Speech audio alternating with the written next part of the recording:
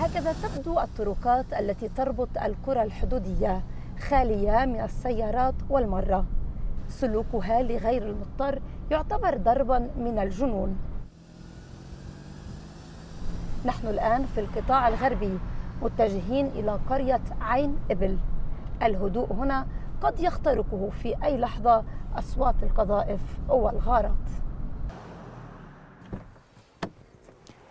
هذه القرية سياحية بامتياز فيها عدد كبير من المطاعم والفنادق لكننا في مهمتنا الصحفية علينا ارتداء الدروع بعد أن استبدلت السياحة بالحرب معظم المؤسسات السياحية أقفلت أبوابها.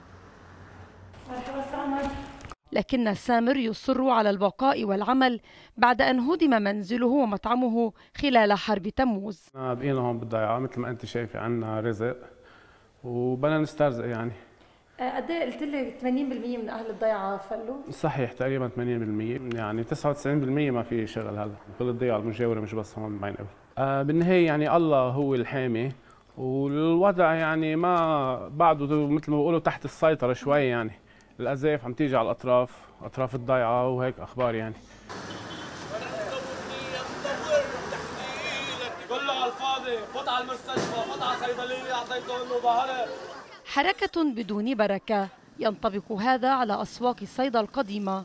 فعاصمة الجنوب كباقي القرى أصيبت بشظايا الخسائر الاقتصادية. زادت يعني الضعف بالقدرة الشرائية لأنه بالنسبة لهيدول اليوم هن عايشين حالة حرب مثل اللي الناس اللي بقلب فلسطين. لا أرقام محددة عن الخسائر التي مني بها الجنوب. لكن المنطقة استقطبت خلال الأعوام العشرة الماضية مصانع ومستودعات. باتت اليوم تحت مرمى النيران. غنوة يتيم العربية جنوب لبنان.